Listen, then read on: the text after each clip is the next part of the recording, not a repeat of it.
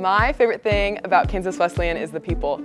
Um, I love my volleyball teammates. I love hanging out with them. It's so much fun. Um, and just your professors are so supportive of you and there are you know a tons of teams and organizations on campus. Some organizational tips that I've learned that have really helped me is getting a planner. I know it's so basic and it's really hard to keep up with it but just knowing, just like writing it down helps you remember all those things. And um, the Canvas calendar has everything uploaded as well, so you can go and look at that and write everything down. On your KW email, you have access to Outlook. Put everything on there. Put all your notifications, all your meetings, all your reminders. Make sure everything is on there because you can have it on your phone and then everything is connected. And that's the best way to really stay organized and make sure you don't forget anything. For me, the first couple weeks, it's just kind of figuring it out. It's figuring it out when you have those extra pockets of time where you can sit down in between a class and write a paper, or you can sit down and knock out an assignment. Um, and those pockets of time are different than high school. It's not gonna be at the end of class, you know, after practice. It's at noon in the hour you have before practice. It's in the 30 minutes you have in between classes. The best resource that you have is the library.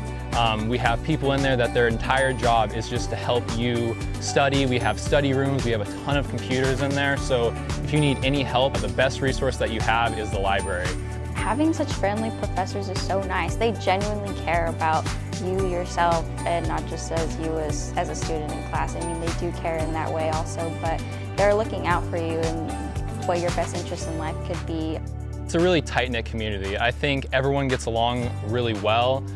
We feel really close to each other and that we're always spending a lot of time together. The social atmosphere here on campus is that it's very welcoming and inviting. Everyone here is just so nice. Like everyone wants the best for you.